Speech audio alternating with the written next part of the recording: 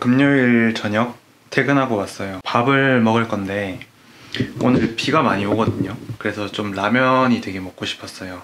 근데 오는 길에 김밥을 한 줄 사왔는데 보통 이제 김밥이랑 라면이랑 같이 먹으면 탄수화물 과다 섭취입니다.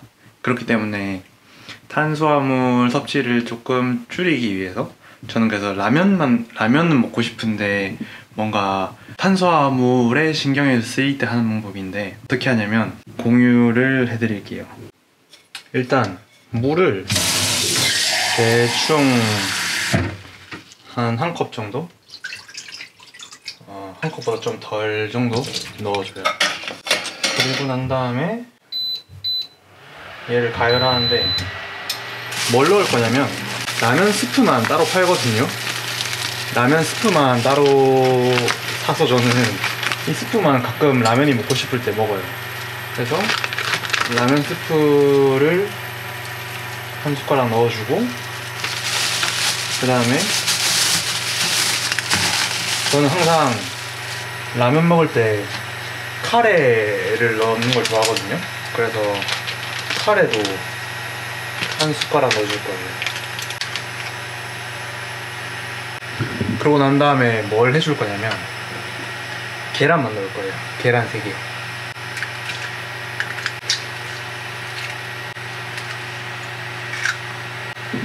그래서 이렇게 해서 이제 먹어보고 짜면 물 더 넣고 싱거우면 스프 더 넣고 이렇게 해서 이제 대충 뭐 약간 계란죽 같은 느낌으로 이렇게 라면을 대신 대체해서 먹어요. 사실 라면 스프는 MSG라서 칼로리가 거의 없겠죠? 사실 정확하지는 거의 없을 거예요 아마.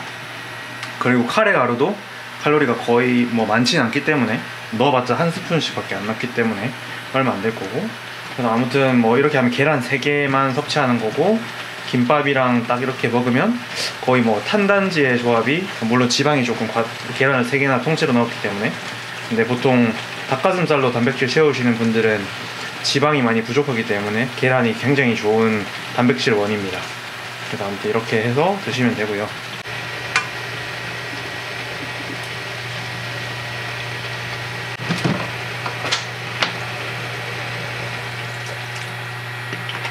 조금 짜서 물을 더 넣었어요. 해자라기보다는 약간 정, 뭔가 정성 가득한 맛있는 김밥이라서 그래서 이렇게 해서 요걸 먹고 이제 운동을 갈 거예요. 근데 사실 운동 전에 이렇게 먹는 이유는 별건 없고 좀 먹고 싶어서 먹는 거고 저는 개인적으로 탄수화물 소화를 되게 잘 시키는데 단백질 소화를 잘 못 시켜요. 그래서 운동 전에는 단백질을 많이 섭취하지 않는 편이고요. 운동 끝나고 단백질을 많이 섭취하는 편입니다. 그래서 여러분들도 제가 하는 방법이 모두에게 맞는 게 아니거든요. 누군가에게는 맞고 누군가에게는 틀린 방법일 수도 있으니까 여러 가지를 다 시도해 보셔야 돼요. 나는 어떤 어떤 거를 몸에 잘 받고 운동 전에는 어떤 걸 먹으면 내 몸은 좋아하고 이런 거를 계속 알아가야 돼요. 이런 건 진짜 운동은 정답이 없는 거기 때문에 여러분들이 계속 시행착오를 겪으면서 알아나가는 수밖에 없습니다. 그래서 이, 이 시리즈의 제목이 시행착오고요. 그래서 저는 오늘 이제 이 라면 스프를 먹고 과연 헬스장에 가서 펌핑이 얼마나 잘 되는지 실험을 해볼 수가 있겠죠. 사실 별거 없어요. 이런 식으로 하는 겁니다. 그냥 해보고 싶은 거 해보고 오, 잘 되네. 이거 나한테 맞네. 그거 찾으면 자기 걸로 만들고. 이게 다거든요, 진짜로. 보디빌더들도 하는 방법이 자기한테 맞는 음식, 자기한테 맞는 운동 찾아서 하는 거고요. 파워리프터들도 자기한테 맞는 루틴, 자기한테 맞는 스트레칭, 자기한테 맞는 보조 운동 찾아서 하는 거고요. 다 똑같은 겁니다. 근데 이제 그 맞는 걸 어떻게 찾냐? 그건 사실 다 해보는 수밖에 없어요. 뭐 물론 정말 훌륭한 코치 밑에서 지도를 받는 선수들은 어 너 이거 해 하면 그거 하면 되는데 대부분의 사람들은 그렇지 못하죠. 저도 그랬고 그렇기 때문에 뭐든지 다 시도해보고 시행착오 겪어보고 자기 것으로 만드는 노력하고 항상 생각하면서 나한테 이게 왜 맞는지 아니 이게 왜 안 맞았는지 이유를 찾아보려고 하고 항상 그렇게 노력해야 됩니다. 항상 생각해야 되고 그게 뭔가 성장에 비결이지 않을까 생각이 듭니다. 저는 이제 먹고 소화시키고 좀 느긋하게 주말이 주말이니까 내일부터 느긋하게 운동을 한번 갔다 오도록 하겠습니다.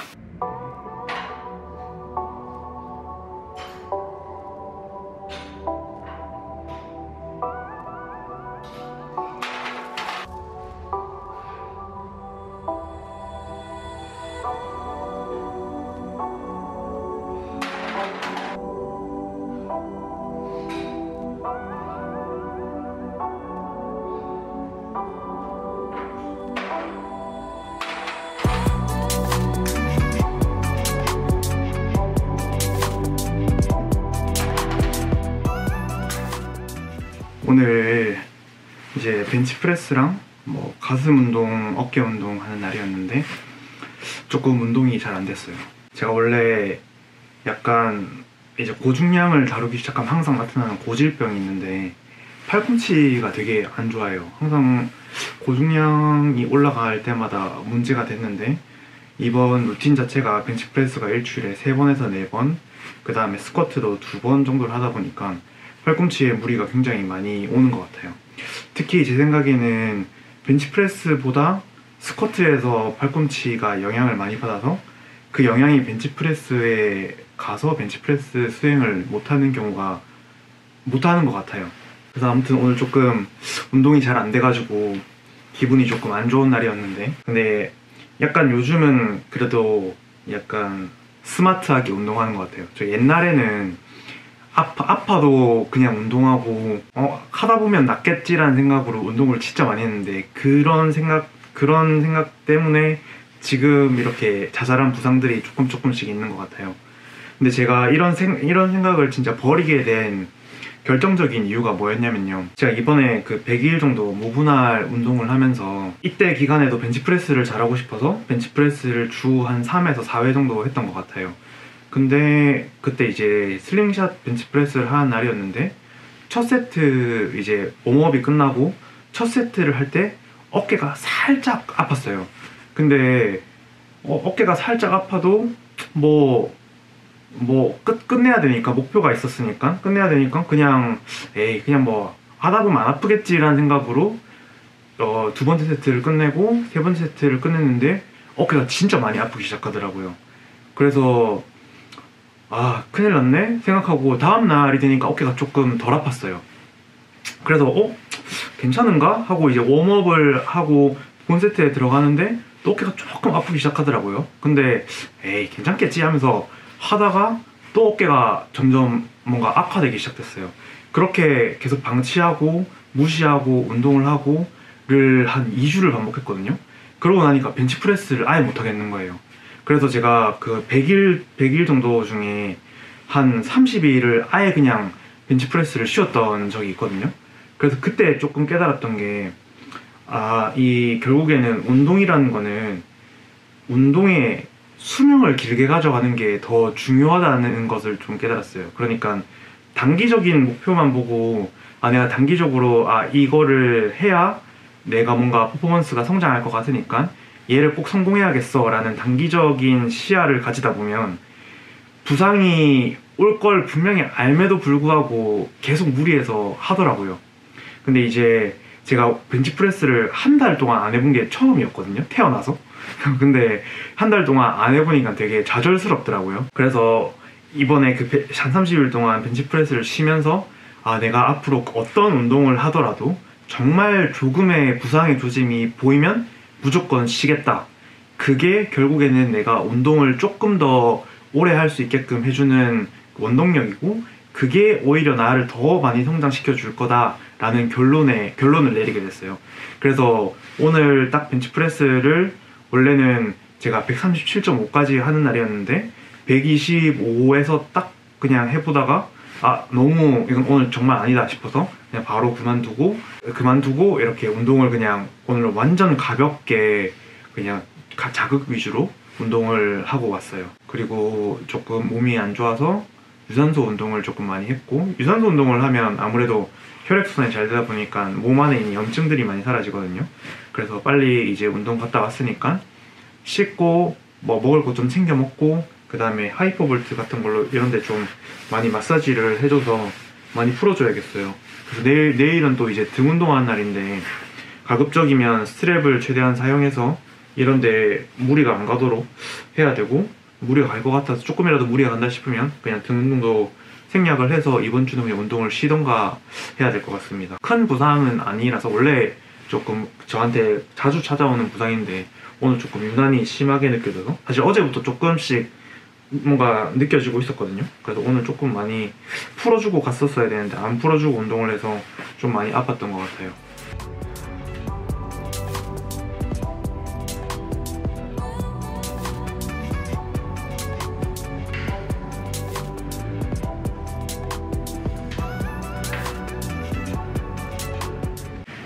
11월 18일 월요일 새로운 한 주가 시작됐습니다. 저는 오늘 운동을 갔다가 와서 식사를 하고 있어요.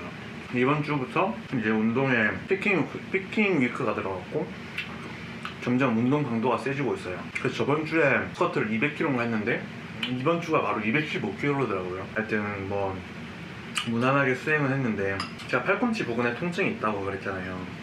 근데 제 팔꿈치 통증의 원인은 사실 스쿼트거든요. 벤치프레스가 아니라 스쿼트인데 그 이유가 이제 견착을 제대로 못하다 보니까 견착을 제대로 못하거나 너무 무거운 무게를 적응이 안 되다 보니까 팔꿈치로 그 무게를 받는 경향이 있어요. 그래서 그게 너무 예전부터 사실 그걸 알아, 알아서 그래서 제가 그걸 알았는데 이번 트레이닝 때 그거를 깜빡하고 잘 활용을 안 했었어요. 원래 트레이닝 초반 때, 초반부 때부터 팔꿈치, 팔꿈치를 조심했었어야 되는데 조심 못해서 지금부터라도 조심해야지 하고 하고 있는 방법이 바벨을 잡을 때 손가락을 다지는 게 아니라 새끼 손가락 하나 빼요. 이거 왜 빼는 거냐면 그 벤 폴락이라는 사람이 손가락 두 개를 빼거든요. 이게 정확하게 저도 어떤 원리인지 모르겠는데 손가락을 빼면 더 약간 어깨에 유연성이 생겨서 그런지 조금 더 견착하기가 쉬워져요.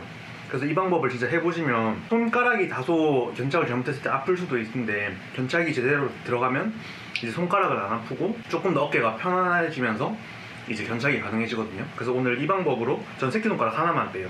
새끼손가락 하나만 빼서 하는데 이 방법으로 215kg까지 갔는데 팔꿈치 통증이 거의 없었어요. 그래서 이번 주 트레이닝도 사실 오늘이 제일 힘든 날이었거든요. 그래서 오늘이 힘들었지만 잘 지나가서 다행이고요. 뭐 이번 주는 딱히 뭔가 큰 일이 없어요. 그래서 뭔가 잘 끝날 것 같은 한 주의 시작을 산뜻하게 잘했습니다. 그리고 지금은 사실 12시 8분이거든요. 밤. 제가 오늘 배탈이 나가지고 밥을 거의 못 먹다가 오늘 거의 첫 끼 식사 제대로 하고 있는 건데 아 주말에 그 KFC를 좀 잘못 먹어가지고 배탈이 났어요. 제가 원래 좀 배가 약해서 튀, 튀긴 걸 먹으면 항상 배탈이 나는데 아, 이번에 KFC를 괜히 과도하게 먹어가지고 좀 후회스러운 주말이네요.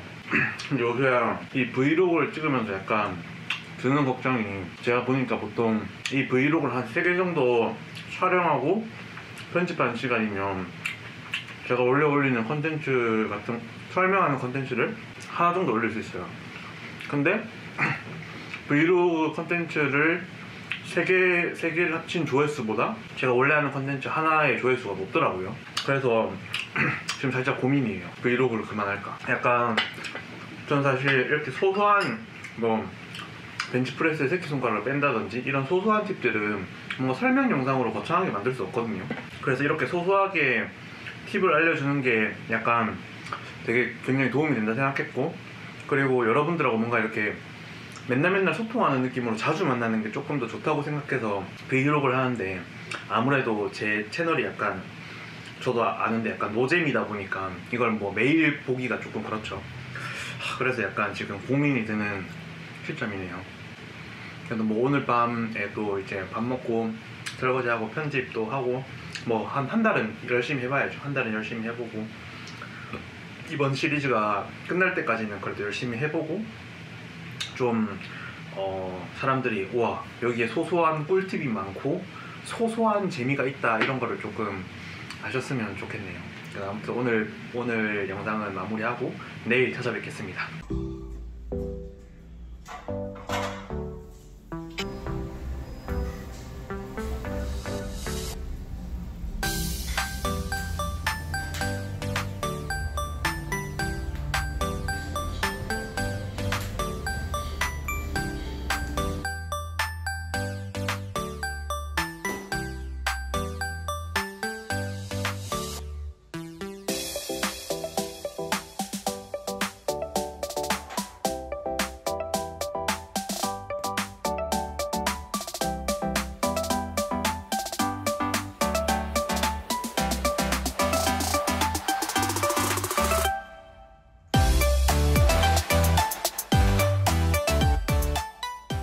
안녕하세요. 블리스입니다. 오늘은 12월 2일 월요일이에요. 지금 어 퇴근하고 왔는데? 하면 저녁 어우 추워라. 오늘 엄청 추워요. 지금 저녁 한 7시 반 정도 됐고 어, 저녁은 회사에서 먹었고요. 오늘 스쿼트 230kg 하는 날이에요. 그래서 하루 종일 조금 긴장되고 떨렸는데 어, 프로그램상 뭐 이런 날이에요. 만약에 컨디션이 한 80에서 90%면 아니다 한 90에서 100% 사이면 이제 어, 230이고요. 만약에 컨디션이 진짜 100%다.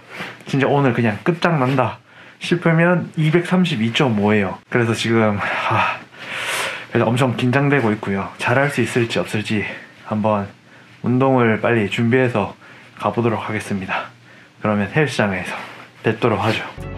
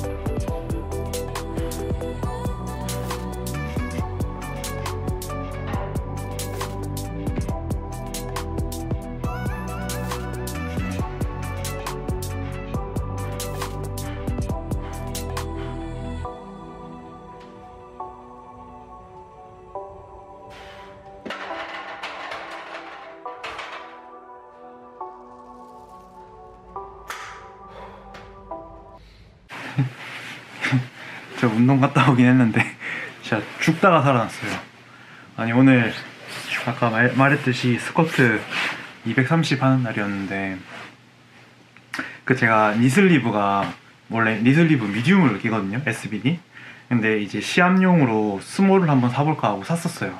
그래서 여지까지는 뭐 레깅스 위에다가 이제 small을 입으니까 뭐 그- 그럭저럭 뻣뻣하긴 한데 잘 들어갔었단 말이에요 근데 이제 오늘 medium을 어, 끼고 180까지 warm-up을 하다가 200을 할 때 아, 이제 small로 바꿔 껴야겠다 싶어가지고 바꿔 끼는데 이제 몸에는 이미 땀이 나 있는 상태고 다리는 촉촉하고 이제 벗고 난 다음에 small을 끼려 하니까 와 이게 안 들어가는 거예요. 진짜 한 30분 낑낑낑낑 거리다가 막 결국에는 여기 별로 지금은 좀 티가 안 나는데.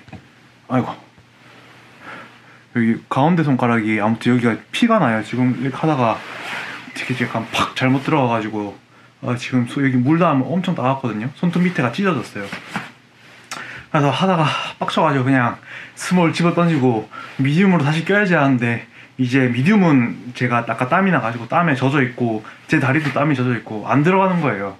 그래가지고 막 아 진짜 빡치네. 그냥 집에 갈까 하다가 다시 마, 마인드 컨트롤 하고 그래 오늘 원래 하는 날이었으니까 해야겠다 생각을 하고 다시 이제 막 땀을 조금 수건으로 닦은 다음에 미디움을 어떻게 어떻게 어떻게 꼈어요 다시. 미디움을 끼고 스쿼트 이제 200을 아까 180 하다가 200을 하고 그만뒀잖아요. 200을 들었는데 와 너무 무거운 거예요. 너무 200이. 그래가지고 아 진짜 큰일 났다. 오늘 진짜 230 못하겠다 싶어가지고 200을 한 두 번 정도 더 해봤거든요. 근데 다행히 200을 마지막에 했을 때 몸이 좀 풀렸어요. 그래서 220을 들었는데 220이 엄청 가볍더라고요. 그래서 아 됐다. 바로 원래 이제 컨디션이 좋으면 232.5였고 안 좋으면 230이었는데 오 컨디션이 좋은 것 같다고 느껴졌어요. 그래가지고 이제 230을 232.5를 했죠. 네, 다행히 성공을 했고. 근데 이제 제가 232.5를 하고 back-off 세트가 본 세트 이제 훈련 세트가 working 세트가 있잖아요. 근데 제가 working 세트를 사실 안 보고 갔거든요. 근데 working 세트가 뭐였냐면 212.5 5세트 3회였어요. 그래서 와 이거를 3회씩 5세트나 하라고 해가지고 이제 5세트를 진짜 꾸역꾸역 채우고 거의 죽을 것 같이 힘들다가 다행히 벤치프레스를 좀 쉬엄쉬엄 하면서 하고 그 다리 보조 운동 조금 하고 집에 왔습니다. 시간이 거의 한 3시간 지난 것 같아요. 지금 막 거의 한 11시 30분 넘었거든요. 그래서 하, 빨리 아무튼 좀 그래도 232.5를 들었다는 거에 굉장히 기쁘고 즐거운 마음으로 잘 수 있을 것 같아요. 오늘은 저에게 어, 제가 성공을 했으니까 저에게 주는 보상이 있어야겠죠. 그래서 맛있는 스테이크를 먹고 잘 겁니다. 사실 원래 먹고 잘 생각이 있어요. 네 그러면 여러분 오늘도 어, 어, 오늘도 시청해 주셔서 감사합니다. 이제 대회까지 거의 막바지에 왔네요. 거의 막바지에 왔고 파이팅 해보겠습니다. 항상 응원해 주셔서 감사합니다.